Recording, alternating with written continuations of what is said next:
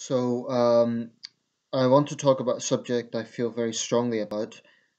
This is a video I've been intending to make for some time, but I um, haven't got around to it. I want to talk about um, the crime situation in this country.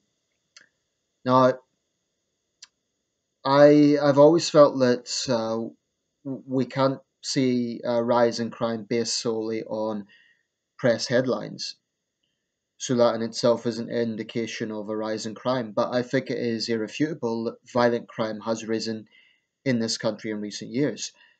And um, the statistics would seem to indicate that. Now, I'm not going to get into the statistics that can be, um, because I don't have them at hand.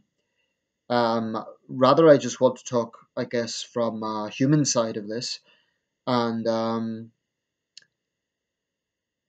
how I feel about it. Uh, like like many normal thinking people, I am I'm concerned about it. I'm angry about it, and um, I find it quite alarming. Um, clearly, there's no easy answer in terms of either the solution or the causes.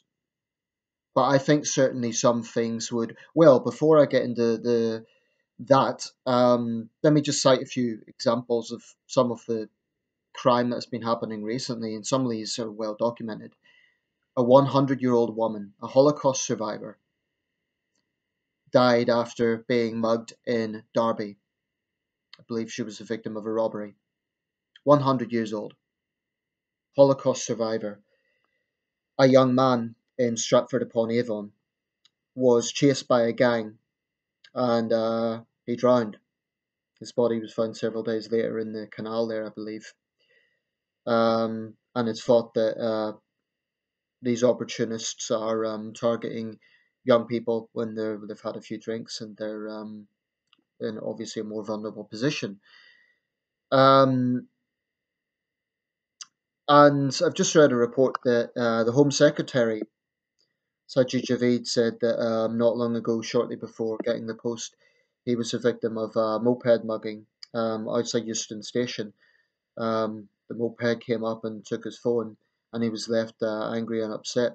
And the comedian Michael McIntyre, similar thing happened. Um, but you know, I could cite a long, long list of incidents that we've come across recently. Um, last year, of course, there was a spate of acid attacks in the capital, which was extremely disturbing. And the, the this new method of um, I shouldn't say new, but let's say it's been more used recently of people um, attacking others on a moped. A, a, young woman, there was footage of a young woman being attacked that way in London recently. Um, there was a couple. Um, you know, their tires were slashed and uh, guys held up their vehicle. There really does seem to be a rise in just mindless, thuggish sort of crime. Just totally desensitized crime, and it's um, it's very disturbing. I'm not making an exact comparison here, statistically speaking, but it, it reminds me of the film uh, Most Violent Year. That's a film about uh, it's set in, it's about this basically a businessman who runs a haulage company set in the United States. Um, I think it's New York City. In 1981, that year was the peak year for homicides in the United States, and um, the film isn't actually excessively violent, but you definitely get a palpable sense of fear and the atmosphere of violence, the atmosphere of an impending, you know, what could happen at any minute. That's what Britain feels like a little bit at the moment. Now, obviously, in world terms, we rank far down the list. Britain still remains in international rankings a very safe country. If you look at homicide rates for this country, um, you know, we're far below um, many other countries. And certainly, if you were to compare us to a country like Honduras or Venezuela or somewhere like that, you know, the, the contrast is very obvious.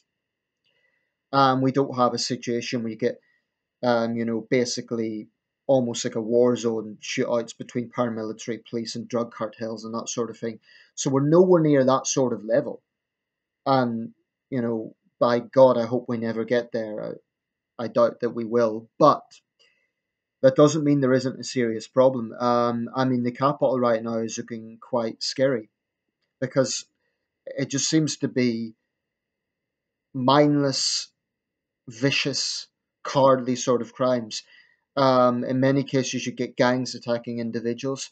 Um, I've always had strong views on crime. You know, um, from personal experience, at the age of sixteen, me and my family were driven from a home by local yobs. These weren't like organized high level gangs; they were just local yobs, and um, that experience shaped my life in terms of how I look at crime.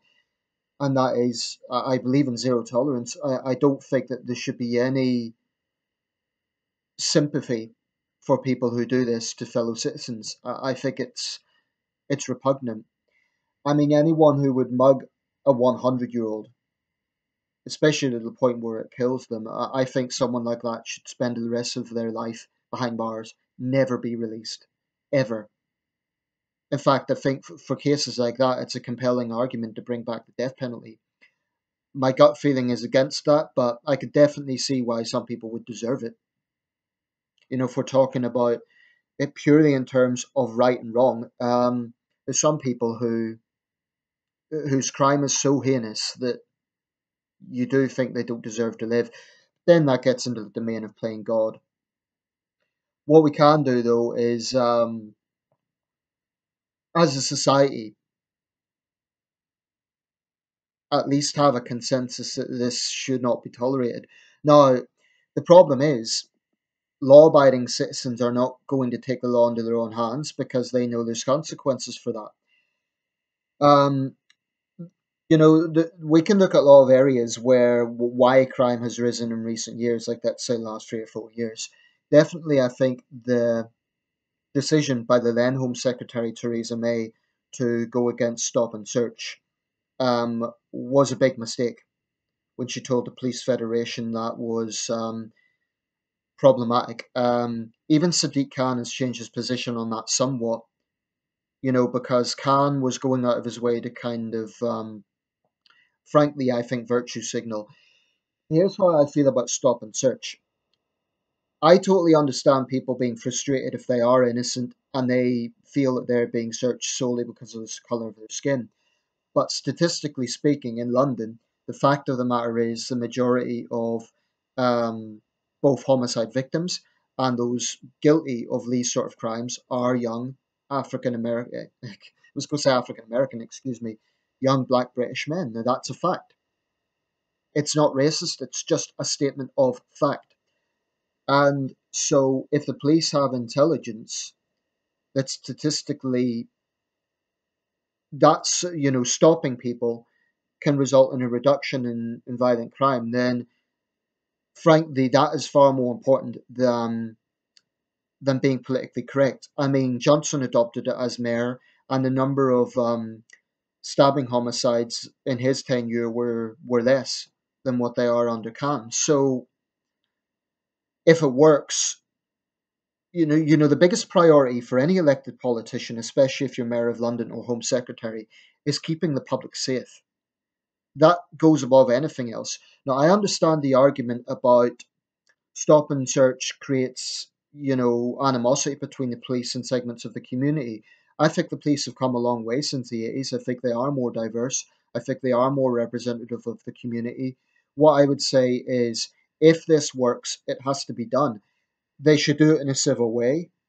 You know, they shouldn't, um, because there may be a chance that someone could be totally innocent. So the police should, you know, talk to them in a civil manner, etc. But in the end of the day, keeping the public safe is paramount.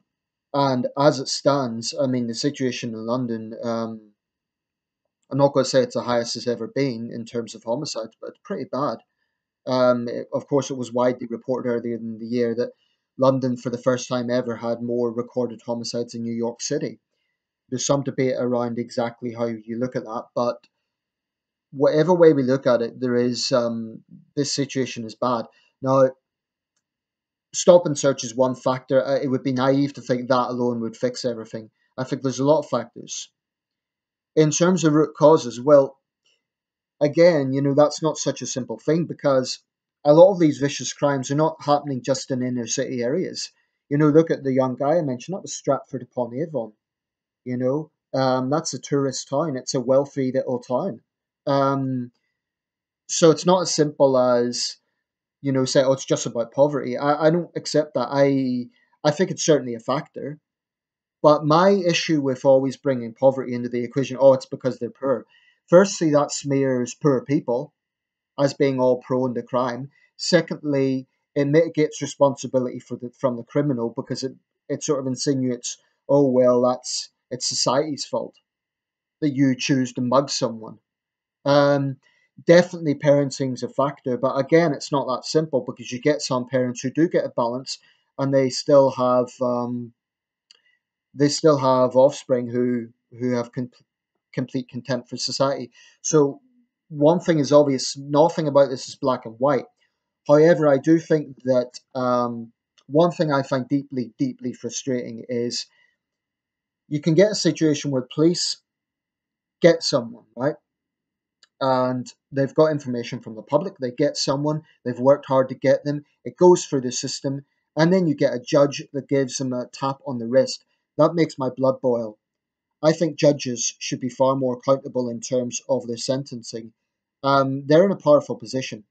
I felt this for a very long time. I it, it makes my blood boil when you see a particularly serious crime result in a tap on the wrist. And what I mean by that is a sentence that just does not match the gravity of the crime.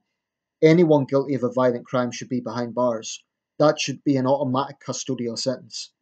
Um, but also, there's particular crimes that don't necessarily involve violence, but are equally reprehensible. I mean, if you get a pensioner that is robbed of their life savings, it may not necessarily involve violence, but that I think most people would agree is a disgusting crime. We as a society need to not tolerate criminals. We need to make these people feel that they are, because I feel they're complacent. I feel that's what's happened. They've got complacent. They think the police are overstretched, so they're not going to arrest us. And I think that is a big factor. You know, I've seen a lot of right wingers blame Labour, um, but they also need to take some responsibility. The fact of the matter is, on the Tory watch, there has been police cuts. Now, more police on the streets doesn't necessarily mean that criminals are suddenly going to get scared. These are arrogant, ruthless people. But I think it can make some difference. More police, um, mandatory custodial sentences for violent criminals, um, certainly the usage of knife arches, things like that, can be effective. But I do, I do believe zero tolerance is part of this if for no other reason, and it sends out a message to complacent criminals that actually, if you're apprehended, you are going to face justice. I mean, the guy that, um, the animal that killed that old woman should should rot behind bars. Someone like that should never be released. You know, someone that could kill a stranger in that way, and it's particularly heinous that the stranger is so vulnerable. But to kill anyone in that way, um, you know, it's it's also awful if it was a strong young man that he killed, but it's particularly heinous when the victim is vulnerable. Um, and that's another factor. Actually, anyone can find themselves a victim of crime. That's why it's you know this isn't a case that only some people are targeted. I mean, for goodness sake, the Home Secretary uh, was targeted. The situation just seems it's it's scary.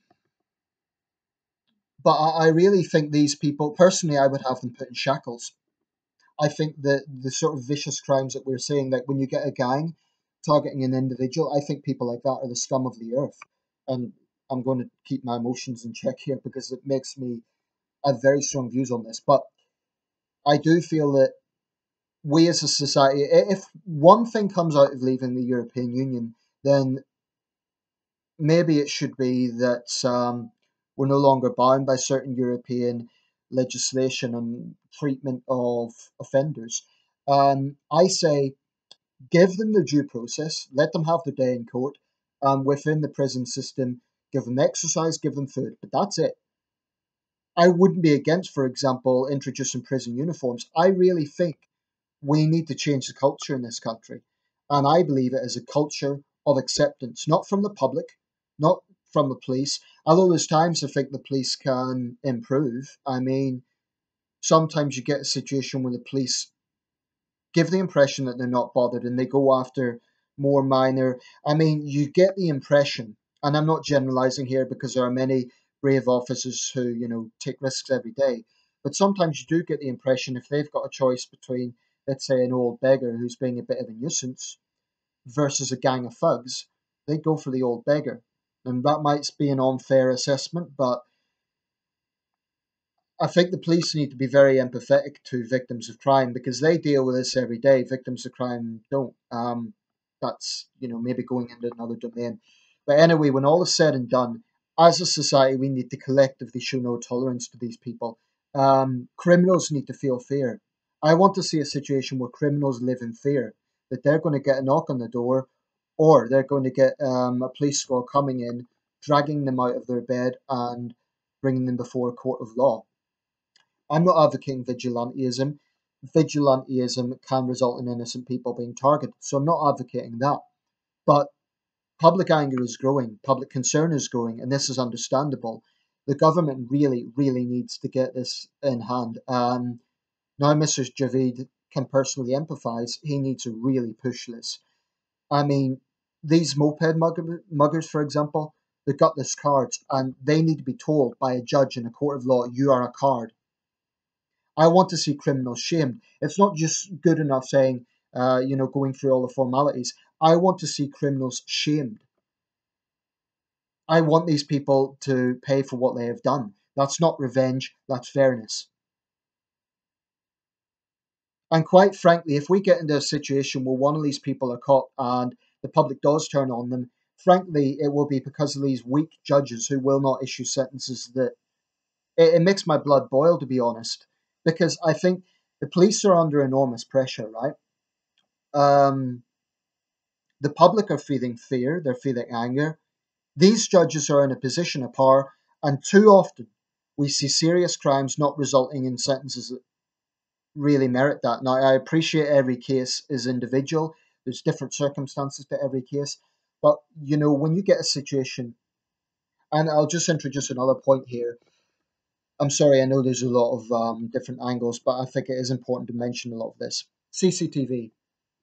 To those who say, oh, CCTV is Big Brother, it's an overbearing state, what if you were the victim of a serious crime and it was CCTV footage that caught the person who'd done that? Then you wouldn't be complaining about an overbearing police state. I do strongly believe in CCTV from that point of view. Um, but there has to be a situation where it can be utilized. I had my bike stolen two years ago, and obviously that's not in the same sort of scale as some of the other crimes I've mentioned.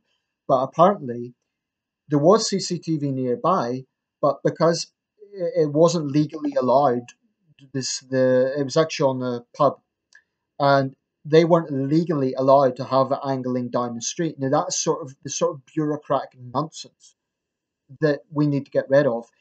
Had they've been allowed to aim the, the camera down the street, then the person who took my bike would have been um, on camera. Now, they might have had a balaclava or something, I don't know. I'm not saying it definitely would have identified them, but it might have helped. Um, so I am a strong believer that what works needs to be used. Civil liberties, of course, are extremely important. Um, I'm not downgrading that, but when violent crime is rising, there is nothing more important than protecting the public. And that means um, sending out the message to criminals that they, they're not going to be tolerated. I would have nothing against, quite frankly, certain radical measures, publicly shaming these people. I'd have nothing against that. You know, the American system has many faults. I do believe far too many people are incarcerated. Um, etc., etc. I can fault the American system in many ways. However, at local level, you get situations where judges come up with certain creative punishments. Um, I'm not saying it would necessarily work here, but some of that we can scoff at it, but some of it is not necessarily a bad thing if it really makes the criminal think twice about ever doing it again. So, for example, you get a gang of thugs who attack an individual for no reason. Maybe they don't like the look of them. Maybe the person is from a different ethnic group. more of you know there are, has been a rise in racist attacks as well, which is particularly disturbing. I believe each and every single gang member should be personally shamed and told that they are a card, because I believe only that will force them to change their ways. I staunchly believe that, scared straight, so to speak. Um, we need to take radical measures. We need to get much, much harder on these people. Um, I think one problem is criminals have got complacent because they think they're going to get away with it, and sadly, in many cases, they will. Now, the police cannot be everywhere at once. The public need to work with the police. The police need to work with the public as well. Police need to take reports seriously, and I don't think they always do. They need to take reports seriously, and they need to be understanding of the position the public are in. Um, so this comes with a collective effort. But as a society, we shouldn't tolerate it. Um,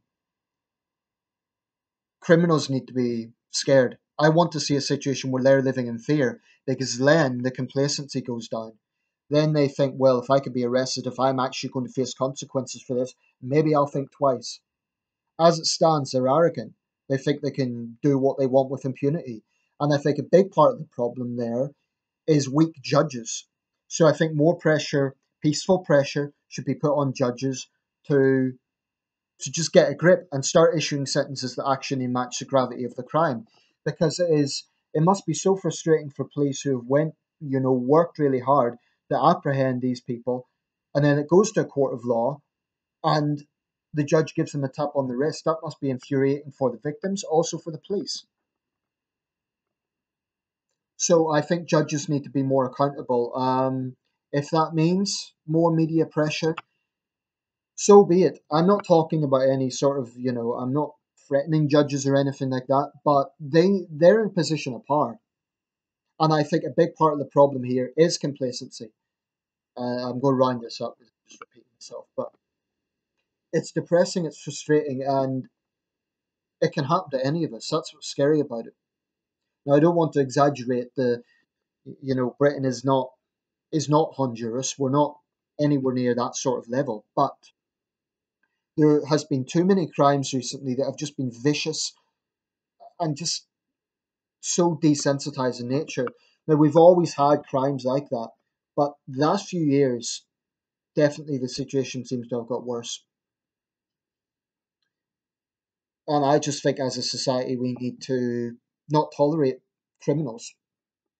It, it sh- I think too many people are like they're blasé about it. They're like, oh well, hopefully the person will be arrested. And we need to stop respecting criminals. These animals don't deserve respect. They are scum. They're scum. And that comes from a point of view of conviction. I take no pleasure from saying that, but it's my conviction. They don't deserve any human respect. Human rights, insofar as due process, give them food, give them exercise. That's it. Due process, present the evidence, you know, let them have their day in court. But when they are convicted, these judges need to get some backbone and actually issue a sentence that matters. I'm sick and tired of weak, useless judges that will not do their job. Frankly, infuriates me. And I'll leave it there.